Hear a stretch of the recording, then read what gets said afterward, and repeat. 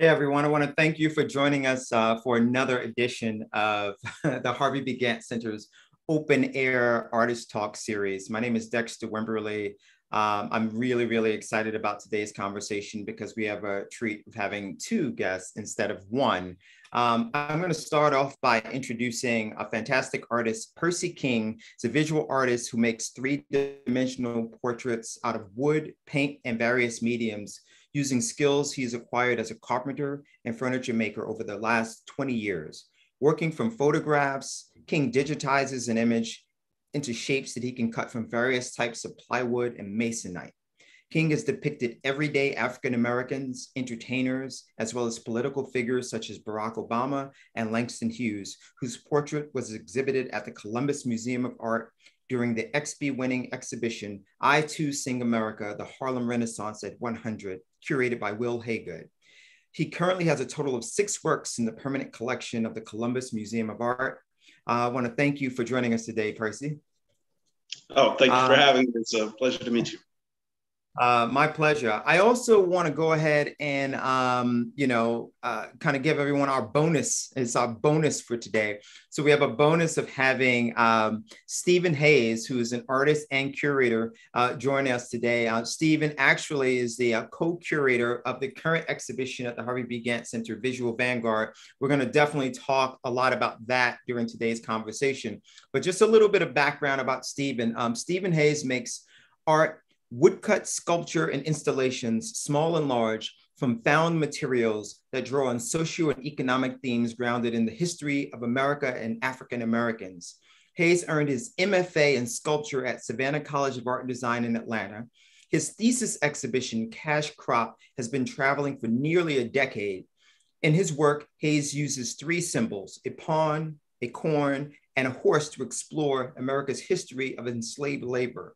Hayes currently serves as the Associate Professor of Sculpture at Duke University and is the 2020 winner of the 1858 Prize for Contemporary Southern Art at the Gibbs Museum of Art. He continues to create and exhibit artworks publicly and privately. Stephen, thank you so much for joining us today. All right, thank you for having me, Dexter. So I want to put things into context. Um, so as I mentioned, this is rare. Normally, uh, the open air conversations are with one artist, but this is a special occasion. So um, for those who are joining us who don't know exactly what's going on, let me tell you. So there's an exhibition that is uh, currently on view at the Harvey B. Gantt Center called Visual Vanguard that Stephen, along with David Wilson, have curated, and that show is on view until January 17 of 2022.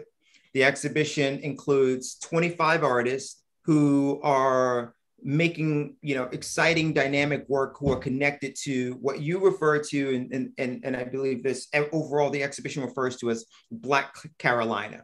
So and we can talk a bit more about that. And so percy your work is actually included in that exhibition.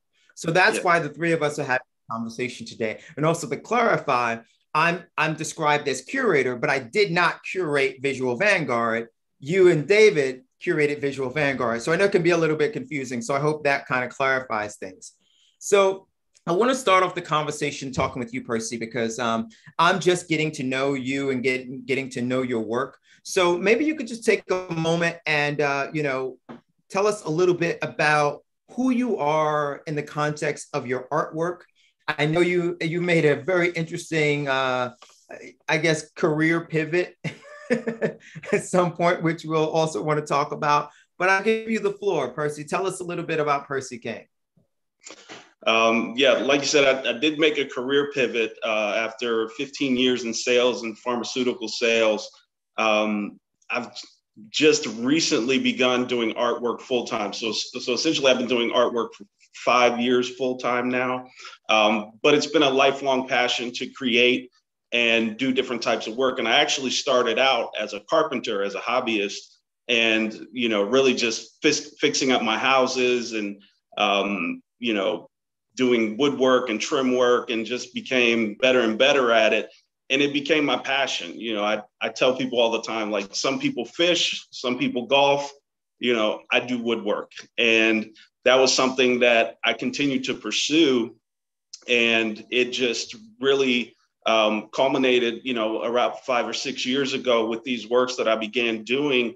Um, and just, you know, it, it's been an exciting ride so far so so many people um, I talk to, um, you know, they have that story. They go, you know, I knew I was going to be an artist when I was two years old, when I was three years old. Um, for you, it seems like it's a different journey, right? So, is it? I, I mean, you you may identify yourself as being a lifelong artist, but would you say there was like a, a moment, like a turning point, where you're like, wait a second, I'm an artist? Yeah, that that essentially I, I started um, you know making these portraits you know like i said about five or six years ago and i had this epiphany because i was doing like i said carpentry as a hobby i've been fixing up my houses and selling them and eventually i got tired of doing that. And my wife and i we had a house that was built in 1977 at the time and we had been in there for 10 years and i completely renovated it. And it just you know became too much work because after 10 years of renovating after i was done it was finally time to start all over again because everything was outdated at this point. So um, I, I, literally walked in the house one day after doing a lot of landscaping and yard work and i told my wife i said listen we got to trade houses. I'm tired of this house. I'm tired of doing stuff. So we moved. We bought a newer home that at the time was built in 2006 and for the first time in 10 years, I didn't have a project to do. and so, um, you know, I'd set up my shop in the garage and everything, and I and I'm just looking for different things to do. And I started building furniture, um, and that became that next passion of mine. I was building tables, end tables, coffee tables, bedroom sets, different things like that. And the more and more I got involved in it, the more and more it became apparent to me as I'm following different artists, you know, different uh, furniture makers, you know, from around the world through Instagram and Facebook, that to me, um, there was no such thing that I was aware of as Black American style furniture.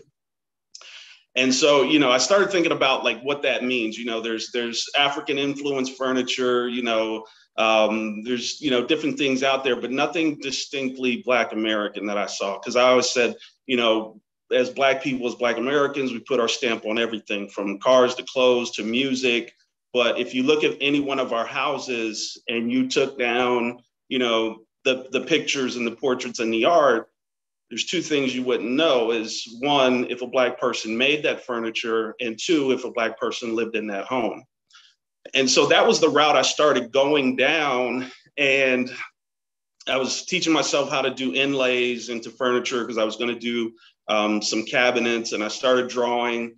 And you know, it just kind of really hit me all at once that okay, this is no longer furniture. As I'm going halfway through this, I'm like, this is this is art. And so I finished the piece, and I had the piece, my, my original piece, which was a Bob Marley piece. I had it for you know two or three months, and I, you know I, I showed it on Facebook, and everybody liked it.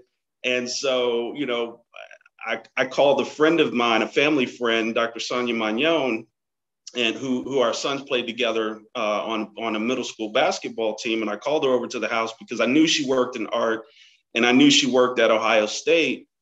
And so she comes over, but I didn't know she was the director of one of the art departments at Ohio State. And so she comes over, I have her take a look at it. And, you know, I said, tell me, tell me what you think about this. And she's like, Percy, if you, you do 10 of these, you'll, you'll have a show in, in less than a year.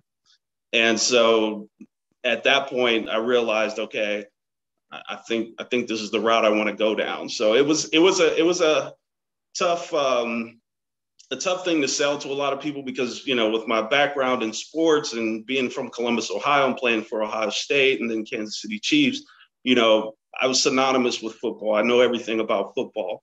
So it was a huge pivot for me to make this turn and, and do this full time no, that's fantastic. I mean, I love hearing about you know everyone's journey because it's always different and always like super specific to them. And I know that you know being from Ohio has a profound impact on who you are as a person. And you mentioned the sports connection, and I was going to get to that, but I'm glad that you brought it up because I think that's a fantastic sort of like arc, right? Like mm-hmm. you know, like who, who would have thought, right? Um, right? Now you're in the museum exhibitions, right? Uh, you know, not just at the Gantt Center, but others. So, Stephen, Let's talk a little bit about why Percy is in Visual Vanguard and what is Visual Vanguard. Okay, so uh, Visual Vanguard is highlighting artists throughout the Carolinas, North Carolina, and South Carolina. Um, Percy um, was one of those artists who, you know, he's not from North Carolina or South Carolina, but he lives here and outside of Charlotte now. So it's about artists that live in these in these areas. Um, so I came across Percy uh, once we uh, collaborated on a piece of sculpture together.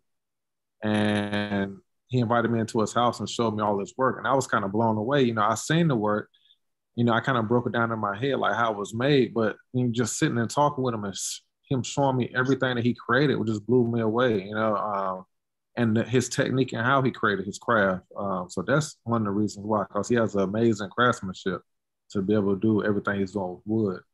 Um, so that's why I'm not cho- choosing uh, Percy to be a part of Visual Vanguard.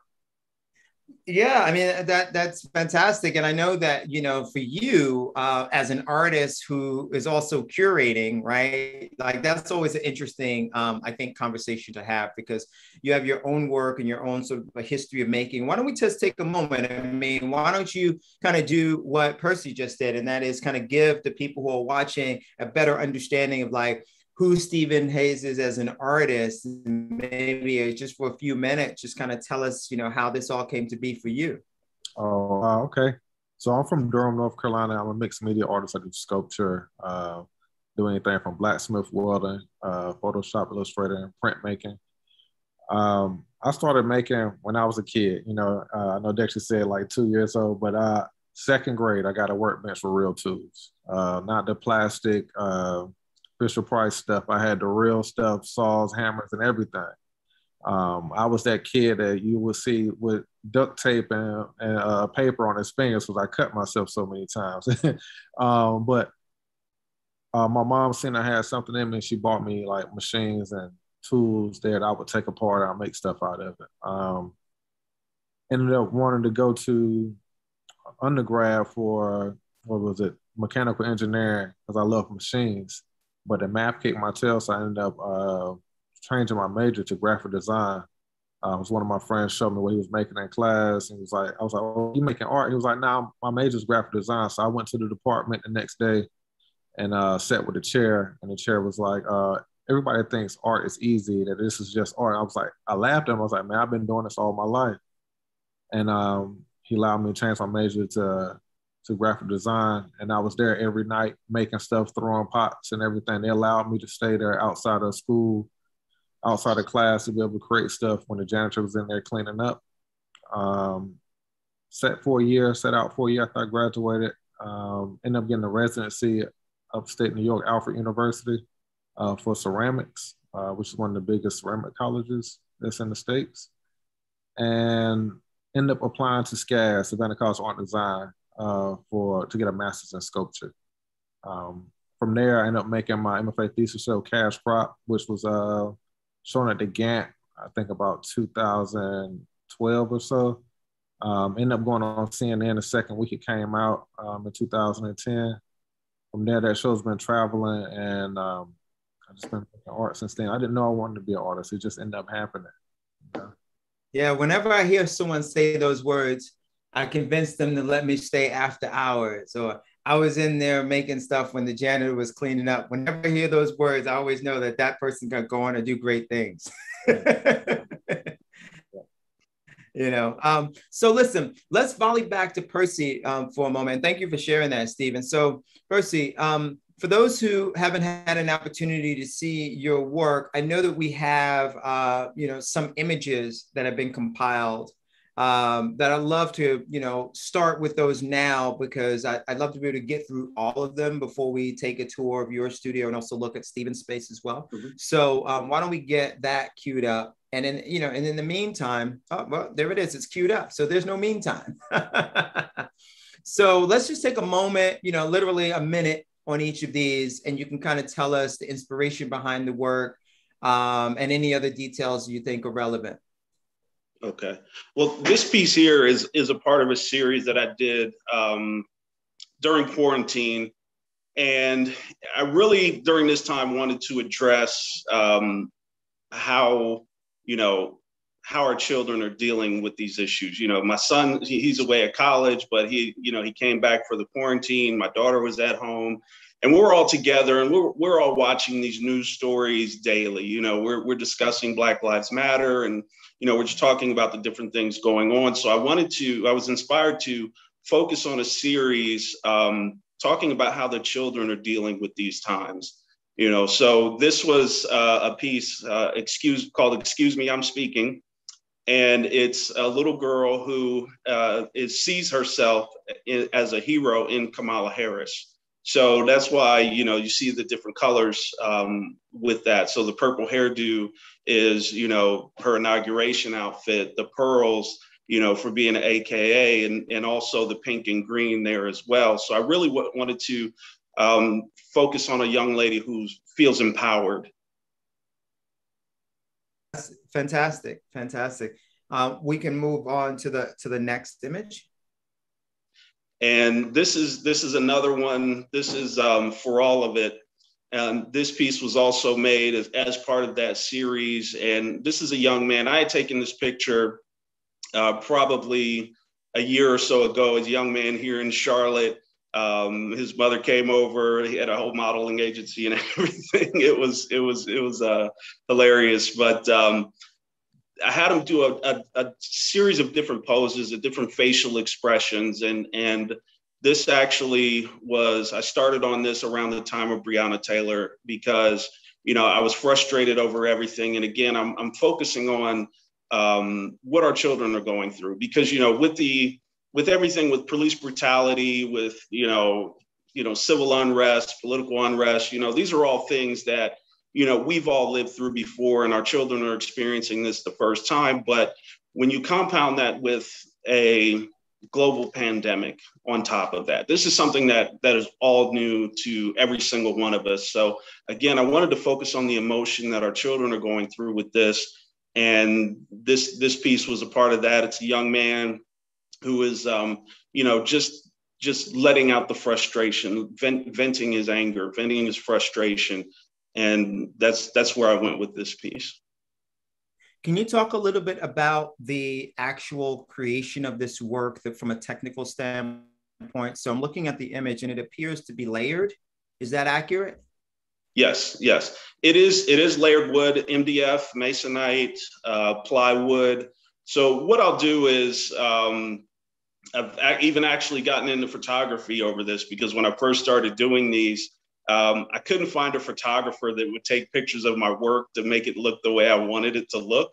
So I ended up buying my own camera, getting my whole own setup, you know, to take these, you know, port these pictures of my work. And then I started getting into taking the actual photos of the subject matter myself.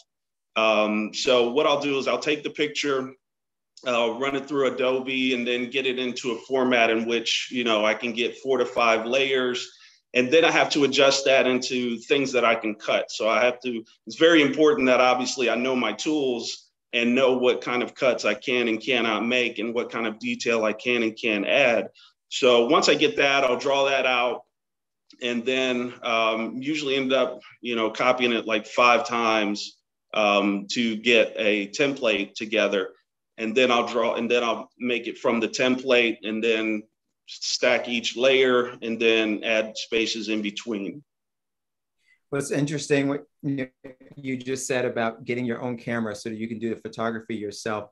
That's similar to what I was just saying to Stephen about as soon as I hear someone say, oh, I couldn't find a photographer to do it. So I just taught myself how to do it. My, you know, do the photography myself is another indication that somebody's really committed to making their work. You know, I hear you. Um, let's move on to the next image. And this is a piece, um, Strange Fruit. This was the third piece in that series, again, talking about, you know, again, the frustration and the conversations that we're having with our children and how they're, how we're talking with them and how they're seeing us respond to, you know, the different stimulus that we're seeing, you know, in the world. So this is a little bit of a coded piece. There's, um, you know, message in there. Obviously, you know, the, the title is Strange Fruit it's a young lady holding her cell phone, and on her picture on, on the cell phone is a picture of George Floyd. Um, the reason why I chose this is because you know our children, uh, you know, we're in, in a tech savvy world. Our children have cell phones. They're seeing these videos and they're seeing these images sometimes even before we are as parents. And you know, we have to explain to them and have these conversations with them so about what they're seeing and help them to digest it. As, as, as uncomfortable as it may be you know again sometimes they're getting that exposure that you know as a parent i don't want them sometimes to have. So this young lady is holding her phone and gazing into the audience as you know as um, you know asking the the audience to answer these questions. Help help me help me digest this and in the background is um, you know the uh, a image of of uh, magnolia leaves with uh, blood on them, which is also from the song "Strange Fruit" as well. and um, that and that piece was purchased by the Columbus Museum of Art too. Oh, congratulations! That's fantastic. I mean, and and, and thank you for sharing that. You know, you've mentioned um, several times, you know, being a father, and so you're you're you're also an artist and, and you're a father. And I, I'm curious to know, has your artwork given you um, sort of a, a, different kind of entry point to talk about these issues with your kids? Have you found that, you know, because you're making this meaningful work, you know, they're going to obviously either come into your studio or maybe you have work in your home and they say, Dad, you made that. What's that about? Does it give you a kind of like something else to kind of like get them sort of engaged with around these conversations? Oh, definitely. Um, you know, this this piece, um, the the the uh, the the model for this piece was one of my daughter's friends. Um, mm. So you know, obviously she was engaged. You know, from the very beginning. What's what's it about? And you know, and I explain it to her, and you know, I kind of play her play her the song, and we actually ended up watching the um, the movie uh, um, that that had the song in it, and you know she heard it, and so you know it definitely gives me a good entry point to be able to talk with her about these things. And she's she's uh, 11 years old, so it's it's uncomfortable for her, you know, um, but it does give her some ground grounding in into understanding what's going on. Thank you, thank you. Let's advance to the next. this this is another piece. This is one of my early works. Um, this is also um, ended up becoming the first piece representing hip hop at the Columbus Museum of Art. Um, this is Redman. I'm, I'm, sure we all know Redman. If you don't, he's a he's he's a rapper um, out of New Jersey.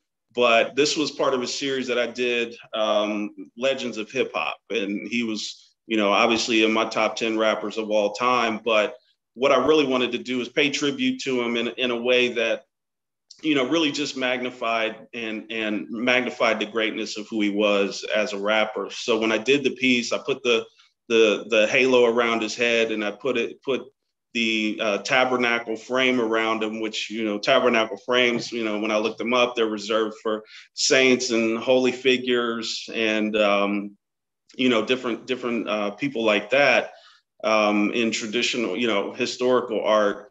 And so I put that around him and, and really just called it, you know, the rap god. and uh, you know put in Rubrum Est Magna, which was um, Latin for Red the Great. Fantastic. let's uh, let's move to the next piece. And this one is uh, another one. This was this was one um, that was done during during quarantine.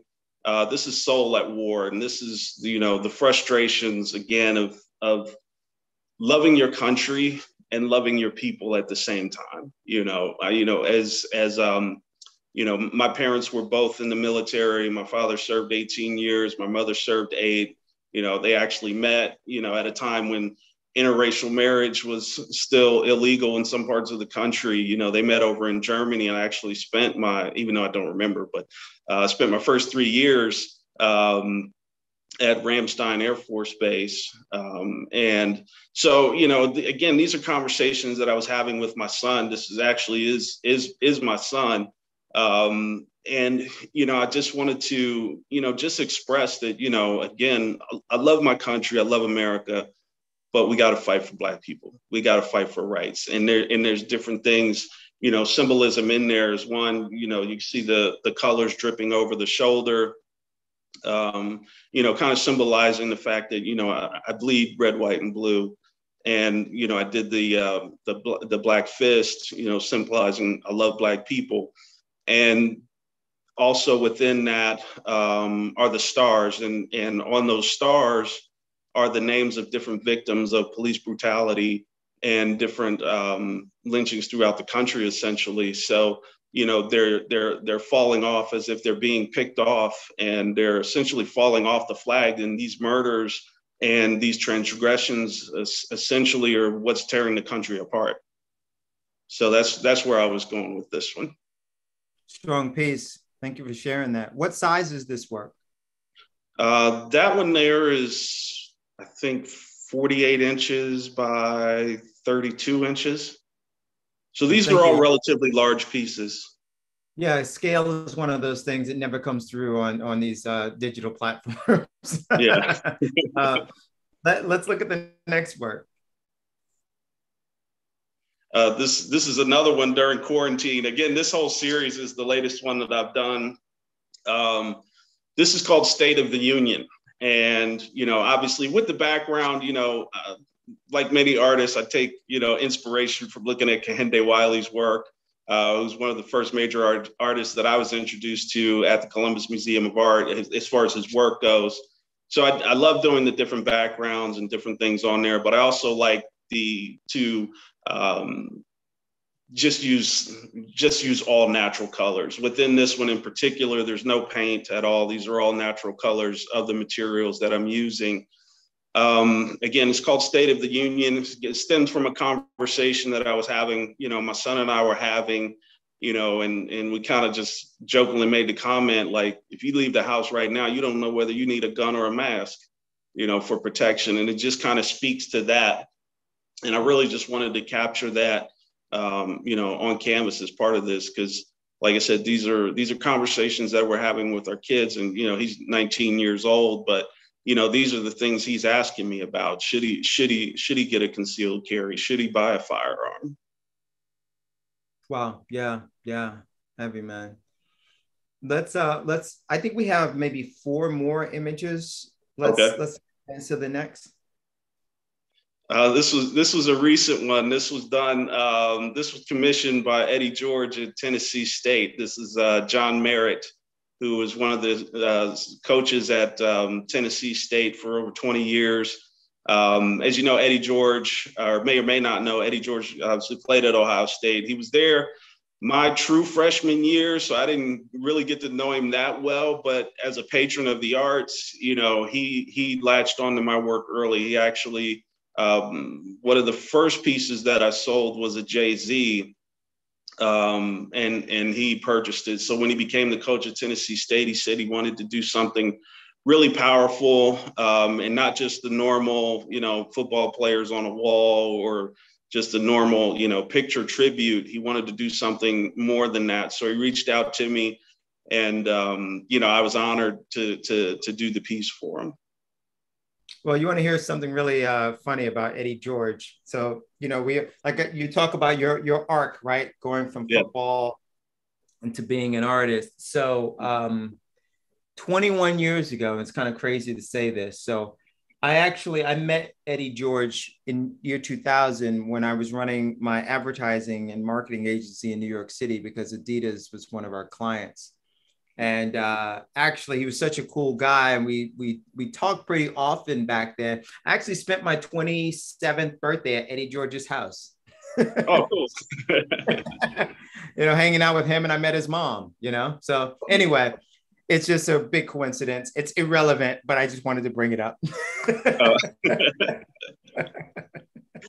no, that's uh, cool. Uh, yeah, There's so many he's a good guy. stories about this. Yeah, he is. He is a really good guy, and and you know, I was appreciative that he that he even you know that he, that he even reached out to me. You know, I know they got a lot of things going on, and um, you know, but they're revamping the whole entire campus, re- revamping the football facilities, and you know, it was a big honor for me because with what he and other guys like Deion Sanders are doing with, you know, contributing or and bringing more awareness to Black college football, HBCU football, and you know, just you know, giving back to that and bringing more awareness to it. You know, when they when they first started announcing it, what they were doing, it was it was interesting because I was like, you know, I love what they're doing but I have no idea how I would be able to contribute, you know, and not not in a million years that I think I'd be able to contribute to that and honor someone, a, a great coach like John Merritt through through art. So it was a That's blessing. Great. That's great. Small world in a way, right? Um, yeah. Let's advance to the next. Uh, this was this was a commissioned piece. Um, I, I, this this piece actually was commissioned um, for for a famous person. I really can't say right yet who it is, and, and, a lot of people won't believe me until I actually get the picture of him with it. But I couldn't get it at the time. It's sort of a big deal, so it was like, you know, we'll we'll I'll just have to wait and see. But this piece was commissioned along with another one. This is Robert Johnson. Um, the person is a, is a famous guitar and blues player whose whose idol was Robert Johnson. This was um, this was a fun piece to do. Um, it was very difficult one because you know the pictures aren't very good. He only has you know two known pictures, and um, so it was funny because I've seen it done every which kind of way, and I'm trying to figure out, and I'm trying to see these different shapes in there, and uh, you know it, it came out awesome. It came out awesome. Yeah, yeah. I love the fact that we're able to see a detail of the layering of the woodwork and how you're using, you know, these sort of armatures to create that depth and that relief. I mean, you know, it's it's it's funny because we see so many thousands of images every day. It's easy to take for granted that like, oh, you know, you look at everything and it's like, oh, that's digital. Oh, that's digital. And then you, you yeah. know, you see how you've actually created this this piece and it's just stunning, man. It's like really amazing work. I appreciate it. Thank you. Thank you. Yeah, yeah. Uh, I'd love to. I'd love to see more. Let let's let's move on to the next. And I think I think we may be down to the final two. So let let's uh, let's advance. So I'll keep it short. This was this was another piece. This was this was um, actually a copy of a piece that I had done, and I, I did it in different colors because for me, once once I the hardest part for me is drawing it out and then once I get it cut, it's easy for me to just create a template from that cut. So this was an experimental piece where I wanted to do uh, different colors and add the circle on there as well. Um, so this is a young lady. I took this picture in Columbus, Ohio, um, at a studio with her parents, and she she was a firecracker. So I just really told her to give me as many faces as she can and m- many different expressions as she could and she did and it and it really worked out. And when i saw this picture i said i knew this is this is the one i wanted to do. So yeah. Very very cool. And again being able to see that angle of the layering it almost looks like a cake. Um, no really really great. Uh, and what's the uh, so so i'm seeing now okay i, I was just uh, trying to get the shape that's behind it. So that's the hair. So you're using the the black background to create the hair. So that's like the bottom layer. Yes. Yes. Oh, Okay, I see it. so then I so then I continue to build out from there. Is is you know the obviously I'll cut out and leave spaces. You know, obviously around the eyes, the lips. You can see within the ears there. There's black. So um, a lot of it, you know, you see right through to the back. So it adds a lot of depth to it. What kind of machines do you use? I use a scroll saw, jigsaw, table saw, just about everything you can you can think of. Um, one of the first questions I always get is this laser cut or CNC, and mm-hmm. I always tell people if you want to offend me, you know, tell me it's laser cut because no, I, I, don't I don't use laser cut. You know, this is this is a culmination of over 20 years of, of woodworking experience, um, and and everything that you see there in front of you is is something that I've learned directly from furniture making.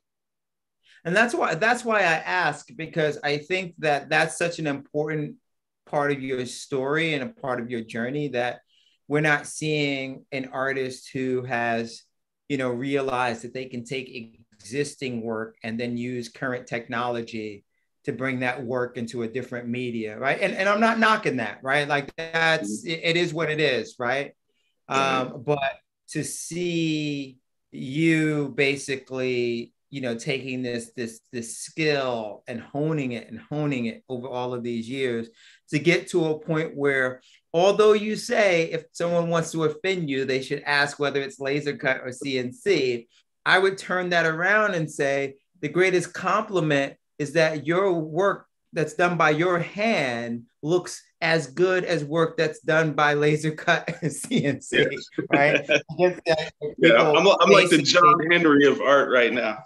like they can't believe they can't believe that you're actually doing this by hand. So there's a question about the yellow or gold uh, circles. Is there significance to those? Um, that was just a, uh, uh, an, an, addition. Those were uh, metallic gold gold flakes that I put on there. Again, it's just a, a, decoration.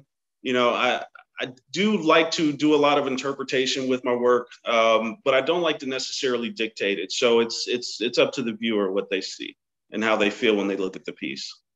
Fantastic. Yeah, that's great. It's great. To, it's great. You know, like that. That's actually. Um, it's good to it's good to understand that and hear that. I mean, you know, a lot of artists also will also like try to like force a reasoning for something, right?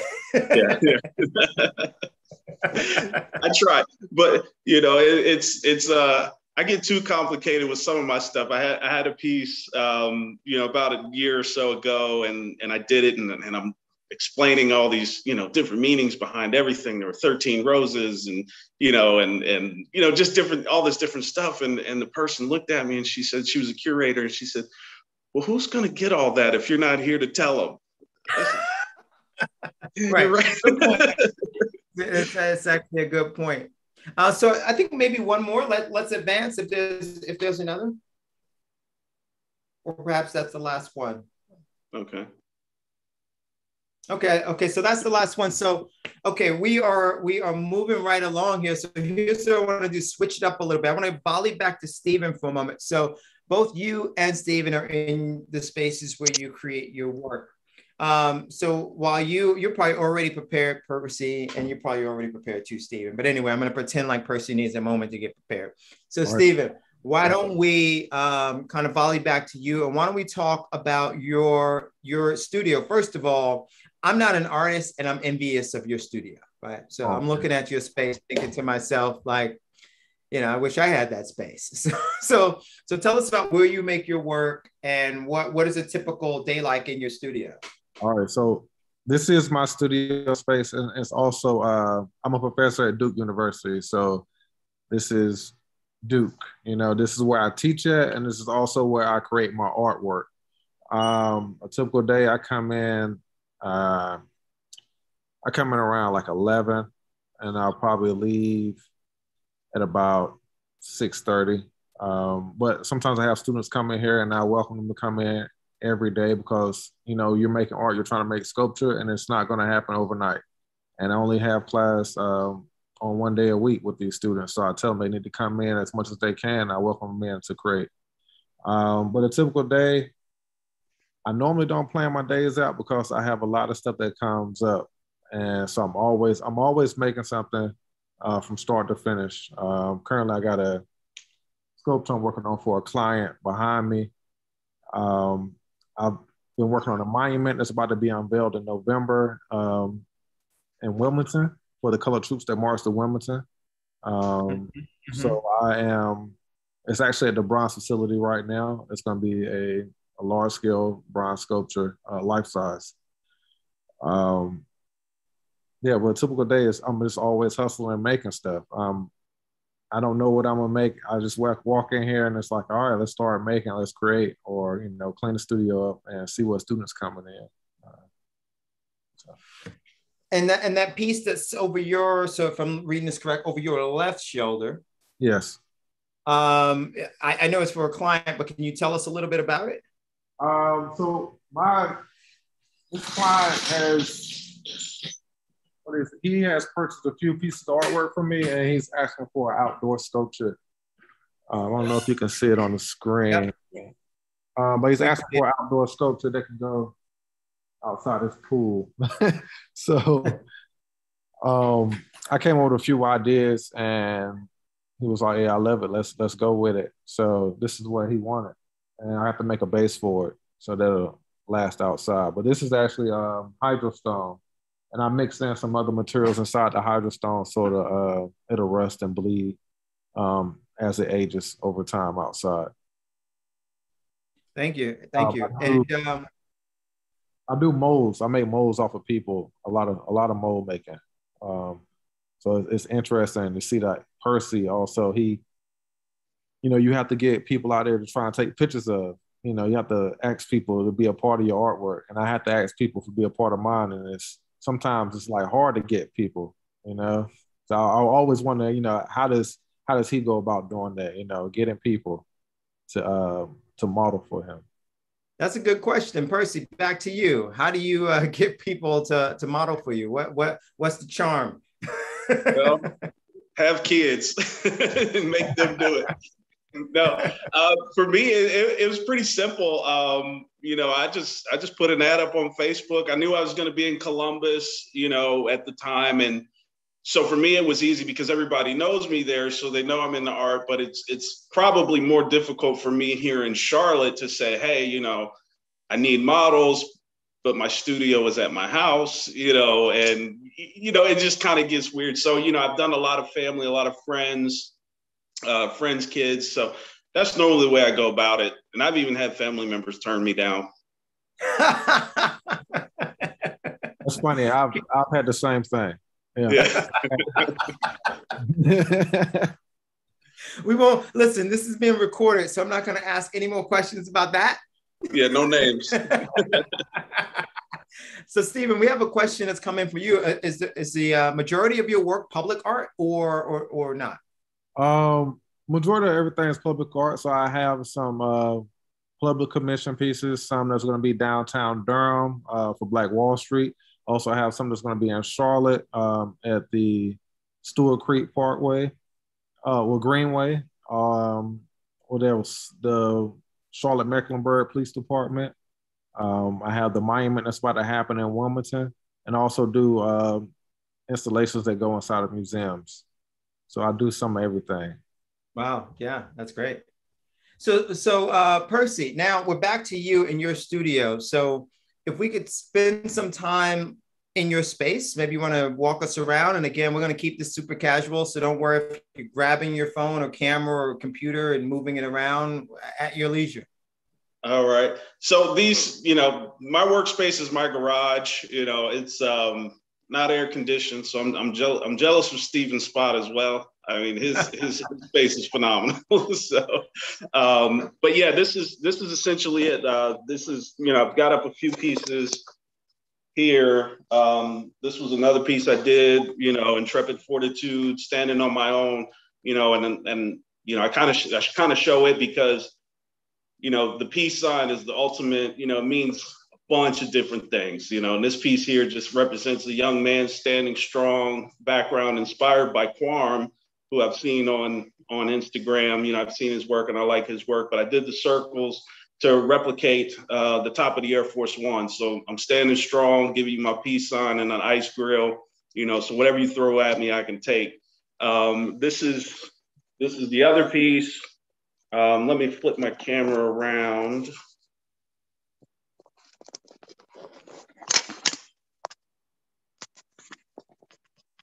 Did it flip?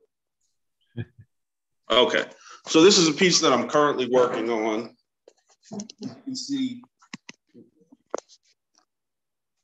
you can get up close in there and see what's actually going on. Yeah, I love this behind the scenes. Okay. So that's one that I'm really working on. That's um, I'm going to end up making a mask for that and doing all kind of different things. And you know, again, this is home home and studio, which you know you see a lot of like yard equipment and lawnmowers, different things like that. Um, but this is primarily where I work. Um, here's all my all my tools that I use. You know, I kind of keep them all in one place. I, I like to keep them nice and tight, just because you know I, I can reach for different things at any time. I've got my table, you know, on on rollers, so I can move it around the shop any way that I need to, and do different things. So I'll show you the material that I use, um, and you can see what I mean by the by the different colors in the material right, in these. So as, as, you look at them, there's different shading throughout each one. And believe it or not, these are all the same SKU, all the same product when you go to the store. There's just different variations. The only difference that I've seen is there's a difference between what you can get in Ohio and what you can get in in uh, in Charlotte because when I was in Ohio, it was the light pieces that were hard to come by. So they were they were pretty rare. So when I saw them, I would buy them up. And then when we moved here, I'm thinking that okay, I need to go ahead and buy up as many as I can because I don't know if I'll be able to get this down there. And I get down here and all the material is light and the dark ones are hard to get. So now all of these pieces I buy them in Ohio. so, um, you know, shop vac, but it's it's just real simple. You know, where where I do everything. You know, I got my my table saw built into the table, so I can you know move it around and adjust it any way I need, and just that's it. Yeah, well, I mean, look, it's, it's, it's great to be able to get that sort of like intimate view in artist spaces, you know, whether you know it's it's a live work space what have you because i think a lot of uh, people have these sort of ideas about you know like what does it mean to you know have an artist studio? And i often say to people it's going to be where, wherever you are that can be your studio. And you know yeah. and i think you have a great and i think you have a great a, a, great space there percy. It's funny you're talking about you know going out and buying that that masonite and buying it up. Uh, i've heard artists find out that a certain kind of paint or certain canvas or certain stretcher bar is going to be discontinued and they just run around their city trying to like buy every single piece of it before they can no longer get it you know? It, it's it's a lot of hard work mm-hmm. you know? um, um, there's a question that came in. Uh, maybe someone's trying to, you know, buy up your your work your wood before you can get it. Someone asked, "Where do you purchase the wood?" You may not want to share that, right? yeah, I can't. T- now, now just uh, uh, Lowe's, Lowe's and Home Depot. Uh, there's there's a store. There is one store in Ohio that that is not here. Um, where where I get different where I can get the large large seats, but it is hard for me to travel back from you know seven hours with those strapped to my roof. So. Right, right, right. And so every, I'm sorry. No, but every everything you see, everything I do comes from you know a hardware store. So I have a question for for each of you. Um, so obviously, there, you know, there will be people who are watching this now or watch it later, and they're thinking, okay, um, I want to start collecting art. You know, and we all hear this. I know you each have heard this, right? Because I hear I've heard it a thousand times. I want to start collecting art. How do I start? Where do I begin? I don't own any art. Every piece of art I own is from IKEA. Like what? Like where, where, where, where do I begin? What What would you say to someone who wants to get into collecting art, whether it's art by you or just in general? I know it's kind of like out of left field, but I feel like a lot of people who tune into these kinds of conversations are curious collectors, would be collectors, but they just don't know where to start. Stephen, you can first. Or, or, either one of you. Who, Percy, there you go. You got it. Okay. Um, for me, I, I, always tell any, anybody buy what you like, you know, um, and buy something that represents you. Um, one of the one of the things I, I've always come and come across again, not having an art background and you know, but most of my friends don't have an art background either, but they're looking to purchase something and, and they don't necessarily know what. And, you know, for instance, my wife, you know, she loves to decorate. You know, when we looked around our house, you know, over the past few years, you know, before we really got into this, you know, we had pictures of horses and flowers and oceans. And um, you know i'm saying to myself like i've never even ridden a horse. Like why do we have a picture of a horse? You know and you go over friends houses and, and it's the same thing beautiful homes. And you know for me you know i didn't realize how big the art community is but also at the same time not a lot of people have art in their homes so it's it's it's you have to you do have these conversations and i always just tell them buy what you like um, doesn't matter the cost. If if you want to spend, you know, a lot of money, you know, feel free to buy my work. But you know, one of the biggest um, discussions that I had, you know, in the beginning, one of the first few pieces that I sold was was a Biggie and a Jay Z, and I had the conversation. I said, you know, with my buddies building this massive home, and you know, with bowling alley, pool, and everything. I said, you know, why wouldn't you have a picture of Jay Z?